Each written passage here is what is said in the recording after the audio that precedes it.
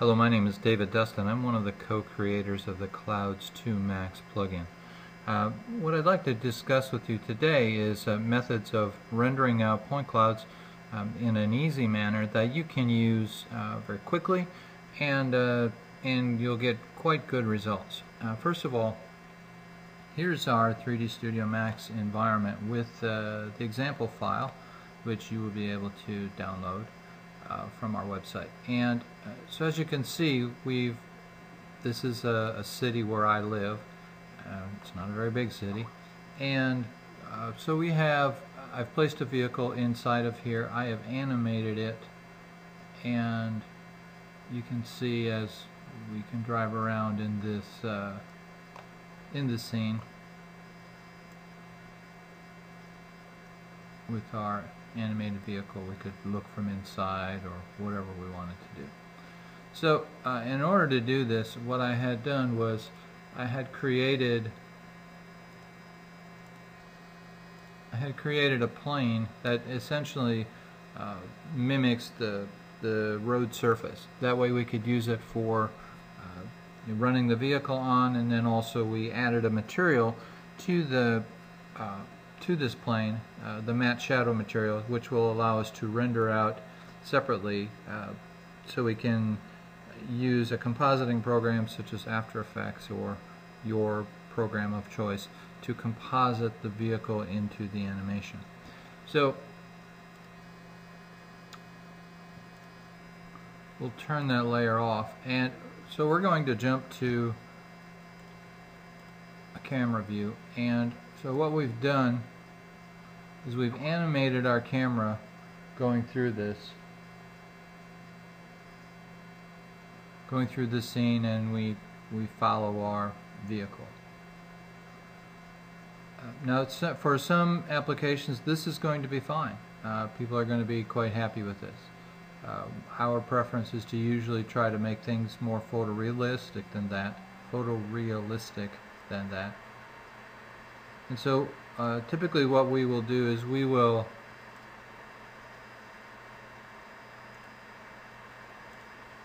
so we have the we have the vehicle turned off now the layer with the vehicle. And it's also important to uh, make sure nothing is selected otherwise you're going to get these white lines in your scene.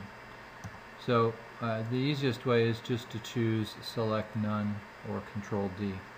Now uh, so what you can do here then is rather than rendering out because rendering in point clouds are it's very computationally expensive but also you end up with because basically these are quads that are facing the camera as soon as you turn the camera those quads have to turn. So you get a lot of flickering when you try to render it out.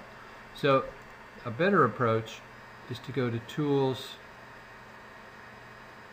grab viewport and create an animated sequence file. So from here you can set a custom range, you can also set uh, playback speed and the percent of output. So I'm just going to output to uh, 800 by 600 frames and then you can choose custom file. And then when you go to create you can just choose a location so here you can see that we have already gone through and created these. We've already gone through and created a series of uh, frames.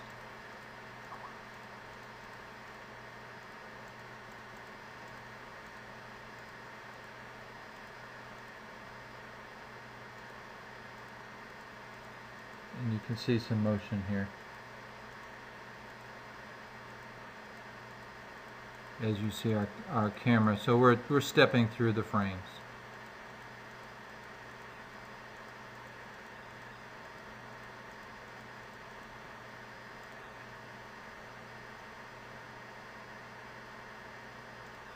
So we would go through and we would render out all of those uh, all of those frames with the background. So now when we want to render uh, our vehicles we have a couple of options. The easiest way and we'll turn our plane back on.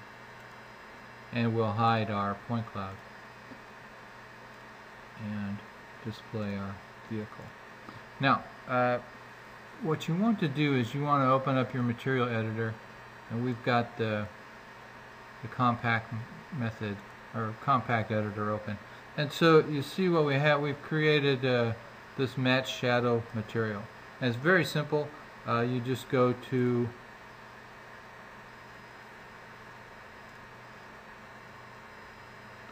mental ray and then matte shadow reflection material. And then you add this material to your horizontal plane. And what that does is it allows you to render your vehicle out it will render it out with shadows and then you can see where uh, then you'll be able to composite this together uh, in a program such as After Effects. So if we see here we go ahead and we want to render.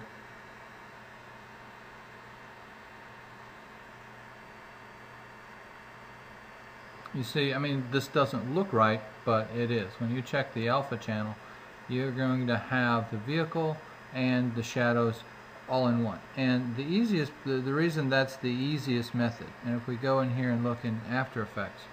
So uh, I've already imported the the layers into After Effects. And so we have uh, if we just have these are our background files that we that we captured. And everything looks great right?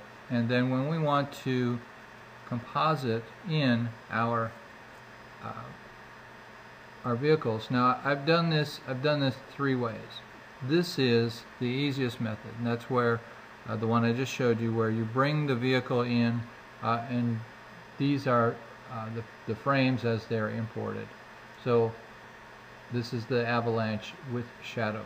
And so you can see that we were able to import that and overlay it directly.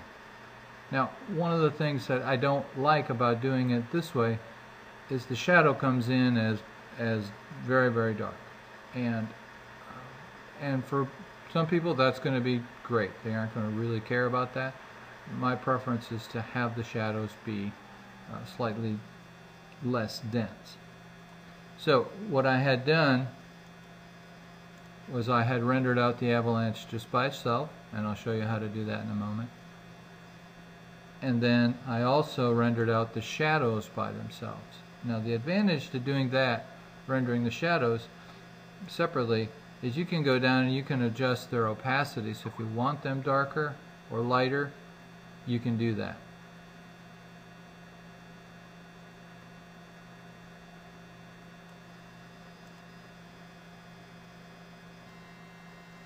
Okay, so we've covered how to, the, easiest method to composite in uh, a vehicle or object with shadows into After Effects. And the simplest method is just to apply a matte shadow material to your horizontal plane or whichever surface you want to use as a shadow catcher and then just render them out and you end up with the vehicle and the shadows underneath and then you can use that and that's the fastest easiest method to do that another way to do that if you want to if you wanted to just render the vehicle it's actually quite simple uh, all you do is you hide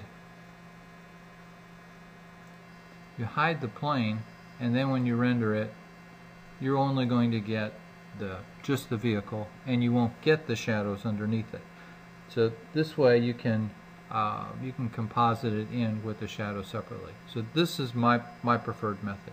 So it's very easy, you just turn off the horizontal plane.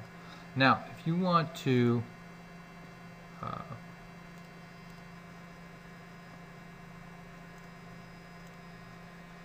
if you want to render the shadows separately, uh, the easiest method, so I'm just going to select everything in this window and deselect that. Now I've just got my vehicle selected. If I go to the object properties and if I turn off the uh, visible to camera button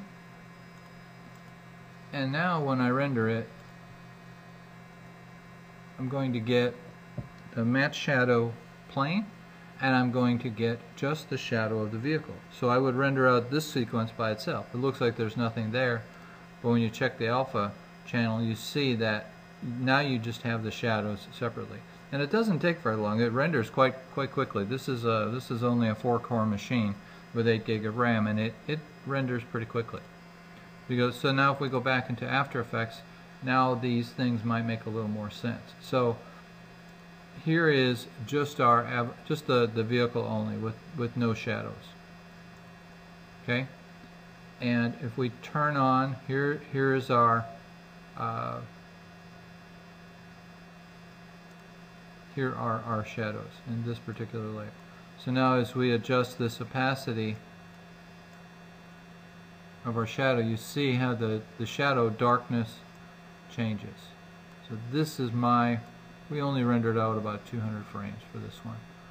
But this to me looks uh, more realistic and you can, you know, you can darken it. You can even animate the darkness if you want to uh, within After Effects. So your options are render them out separately. So we have just the, the vehicle by itself. And, and if your vehicle is too dark like this, obviously you can add you know, more lighting in the max environment to fill in some of these. Obviously, you, you all know how to do that. So, uh, so our options are rendering the vehicle out by itself, the shadow out by itself, and then you can composite it here. Or you can render it out as one entity with the vehicle and the shadows. So if we turn off our background cloud, you can see how the vehicle is, just the vehicle is present. So this is going to be the fastest, easiest way. And uh, as you can see, that looks pretty good. I mean, the vehicle is, is pretty close to photorealistic, and obviously we have our laser scan.